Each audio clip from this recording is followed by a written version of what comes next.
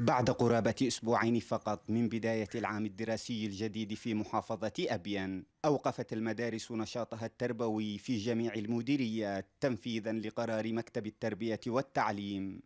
جاء القرار بناء على توجيهات مباشرة من محافظ المحافظة في ظل ما تشهده المناطق الساحلية من ارتفاع غير مسبوق لدرجات الحرارة. السلطة في المحافظة حرصت على أن إذا حصل أي حالة إغماء أو لا سمح الله والناس قد حذرت في قد حذرت الناس في الإعلام في التواصل الاجتماعي إنهم يحملوها السلطة في المحافظة وفي إلى غير ذلك، فهي أعطت تعليماتها إلى مكتب التربية والتعليم المحافظة بتعليق الدراسة لمدة أسبوعين. إيقاف الدراسة هذه المرة جاء بعد يوم واحد من وفاة معلمة في إحدى المدارس الثانوية بمنطقة الكود بسبب موجة الحر الشديدة التي تضرب المحافظة. فيما أكد معلمون في مدارس عدة تسجيل حالات إغماء متكررة في أوساط المعلمين والطلبة. ما جعل مكتب التربية والتعليم يصدر توجيهات بتعليق الدراسة على مدى أسبوعين.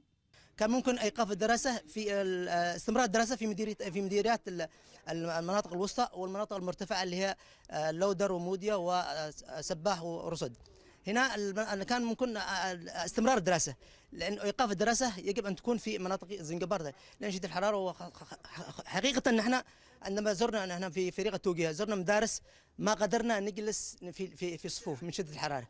فكان لا لا معلم قدر أن يوصل معلومة ولا طالب قدر أن يستمع إلى المعلمين بين مؤيد ومعارض للقرار اختلفت آراء المواطنين في مدينتي زنجبار وجعار وهما المدينتان الأكثر تضررا من ارتفاع درجات الحرارة فيهما. لكن القرار الرسمي اعتبر مؤسسة الكهرباء مسؤولة عن الإجراء الطارئ في قطاع التعليم. فالانطفاء المتواصل للتيار الكهربائي وعجز السلطات عن تحسين مستوى الخدمة. كانت له تداعيات قد تضر بمستوى العملية التعليمية في حال استمرارها. لطفي إبراهيم قناة بلقيس أبين